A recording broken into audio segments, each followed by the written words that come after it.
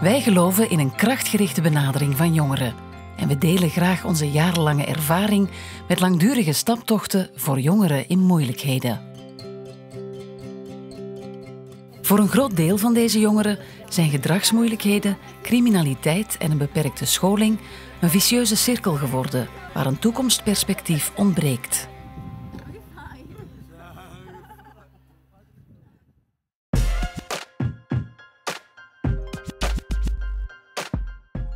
In 1982 werkten twee Belgisch sociaal werkers een alternatief uit voor deze minderjarigen.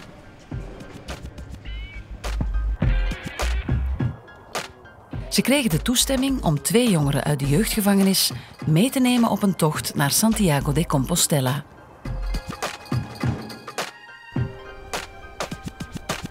Santiago was geen religieuze keuze, maar ze vonden het belangrijk een krachtige, symbolische bestemming te hebben.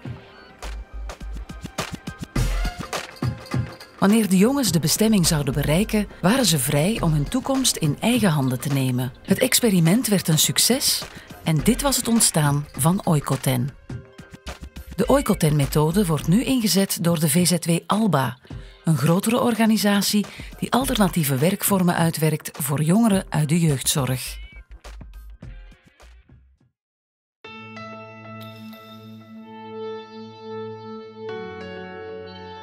In 2000 lanceerde de Franse organisatie Seuil dit in Frankrijk. La marche Seuil est un séjour dit de rupture qui se déroule sur les chemins dits de Compostelle. C'est une prise en charge individualisée. Un jeune part un accompagnant qui est choisi. C'est une marche sans téléphone, sans musique, dans un pays étranger. ¿Dónde está el camino? ¿Por? Gracias. Oikoten is een Grieks woord en betekent weg van huis en op eigen kracht. Het Franse woord seuil staat voor de drempel die deze jongeren moeten overschrijden wanneer ze zich opnieuw willen integreren in de maatschappij. De filosofie is eenvoudig. We doorbreken de vicieuze cirkel door de jongeren een radicaal andere omgeving te bieden. Een ander land, een andere taal, andere landschappen. Een nieuwe wereld opent zich voor hen, met de mogelijkheid om andere aspecten van hun persoonlijkheid te ontdekken en hiermee te experimenteren. Oikoten en Sui willen deze jongeren in hun eigen kracht zetten en hen aanmoedigen om hun leven in eigen handen te nemen. Deelname is daarom ook altijd op vrijwillige basis.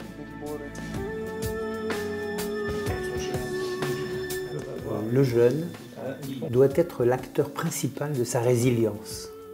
C'est lui qui, euh, par sa volonté, malgré les conditions difficiles, et avec l'appui d'un adulte qui l'accompagne, va peu à peu se construire un avenir. Op dit moment hebben al meer dan 800 jongeren deelgenomen aan dit avontuur.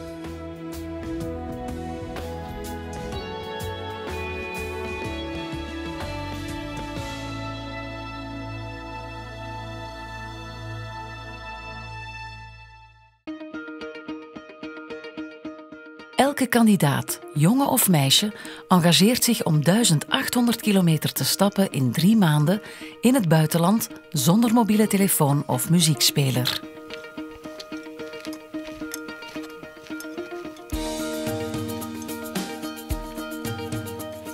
De jongere wordt tijdens de tocht begeleid door een volwassene. Bij Oikoten worden soms ook duotochten georganiseerd, van twee jongeren en één begeleider. Het project start met een voorbereidingsweek waarbij de jongeren en de begeleider elkaar beter leren kennen.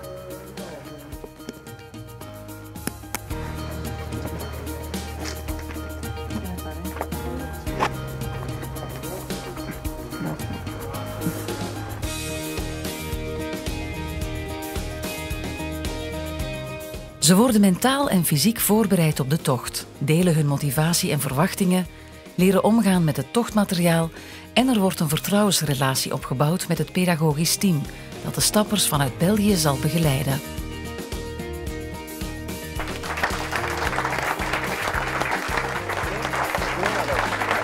Op het einde van deze week wordt een afscheidsritueel georganiseerd. En de volgende dag gaan ze op pad.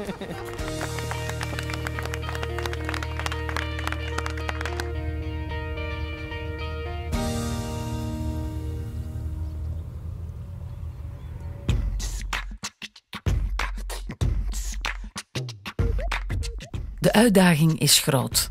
Het is echt een zware inspanning om gedurende drie maanden 25 kilometer per dag te stappen. Wanneer de jongeren dag na dag hun angsten, problemen en vermoeidheid overwinnen, kunnen ze trots zijn op zichzelf.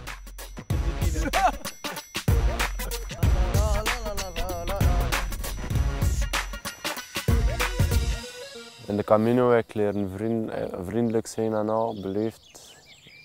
Eh, Ik heb leren fouten toegeven ook, als ik fout ben, als ik nu kan toegeven ook.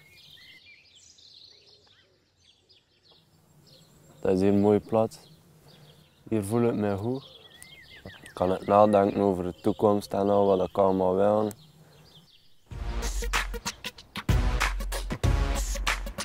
Tijd en ruimte maken het verschil. Drie maanden van dit nomadische leven zijn noodzakelijk. Dag na dag, in de stilte van de natuur en op het ritme van hun stappen, kunnen de jongeren reflecteren over hun verleden, genieten van het heden en nieuwe perspectieven op de toekomst ontwikkelen. En ja, ik ben wel veel veranderd. Het eerste is vooral vertrouwen hebben in jezelf. En denken dat je het kunt. En positief denken. Want als je negatief denkt, dan gaan al je energie. En die tocht is eigenlijk wel de weg naar eh, mijn eigen geluk. Daarom heb ik dat ook niet opgegeven.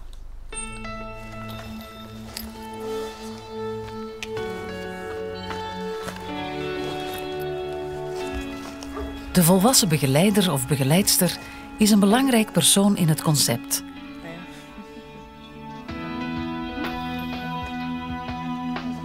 Hij of zij dient te beschikken over levenservaring, een stabiele persoonlijkheid en een sterk empathisch vermogen.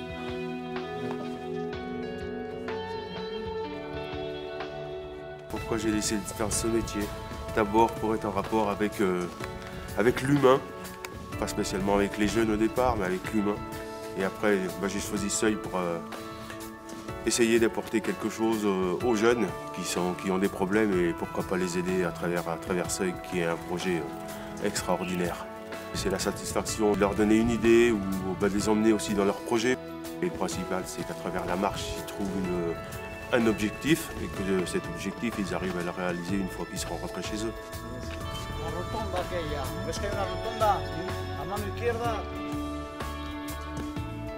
We streven naar zoveel mogelijk gelijkwaardigheid tussen jongeren en begeleiders tijdens de tocht. Ze nemen samen beslissingen en delen de taken, zoals inkopen, koken, afwassen of een slaapplaats zoeken. Maar de volwassene behoudt wel de eindverantwoordelijkheid.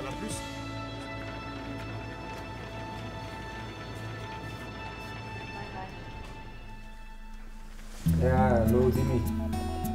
Tijdens de tocht worden de stappers ondersteund door het pedagogisch team van Alba, dat 24 uur op 24 bereikbaar is, 7 dagen op 7.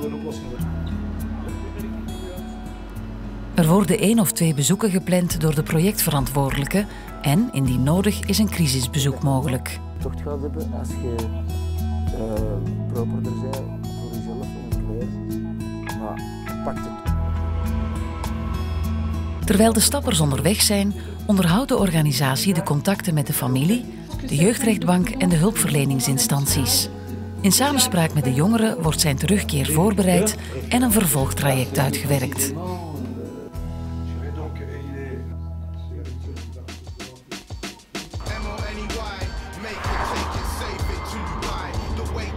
Bij de jongeren laat dit grote avontuur een diepe indruk na. Ver weg van hun bekende omgeving krijgen ze de kans om nieuwe verbindingen te maken met zichzelf, hun familie en de maatschappij.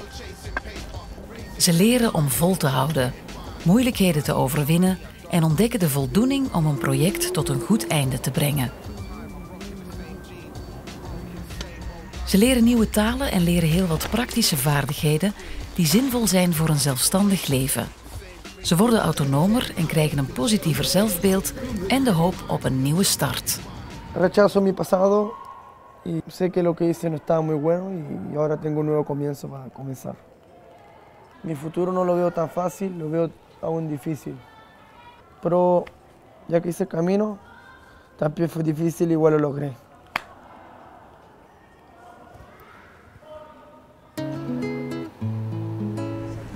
Wanneer de jongere terugkeert, merken ouders en opvoeders de diepe verandering bij de jongeren tussen de start en het einde van het project. Était complètement perdu. Complètement. Il y a toujours des solutions. C'est vrai que Seuil me paraissait euh, la meilleure. Et un éloignement euh, de la famille, euh, de ses copains, de peu l'environnement il y avait l'habitude d'être, c'était euh, ce qu'il fallait. Pour moi, la marche, elle a- elle l'a secoué, elle l'a bien réveillé. Il y a un grand changement. Il a grandi. Je pense euh, physiquement, moralement, il a grandi. Bon, alors ça y est, on va mettre en Alors en tout cas, je Tout, tout a changé. J'ai grandi, j'ai mûri, j'ai fait des rencontres, j'ai appris à parler plusieurs langues. C'est que des points positifs pour moi. Je me suis découvert. J'en ai beaucoup pensé durant ces trois mois, mais je, suis déterminé. hein. Je, suis largement plus fort mentalement, physiquement.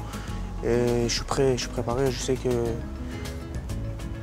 les gens vont m'inciter, mais je sais qui sont mes bonnes fréquentations maintenant. Je sais qui sont les bons et qui sont les mauvais. Et je n'irai pas vers les mauvais. Normal. C'est un jeune qui était euh, dans une période d'errance avec euh, beaucoup de délits. Euh, du coup, c'était un jeune, quand je le voyais, qui était aussi dans une consommation de cannabis. Un jeune qui était sur une période de doute, de grande tristesse. Aujourd'hui, il rentre, on sent que c'est un jeune qui s'est posé. On sent que euh, cette marche lui a vraiment porté une réflexion sur lui.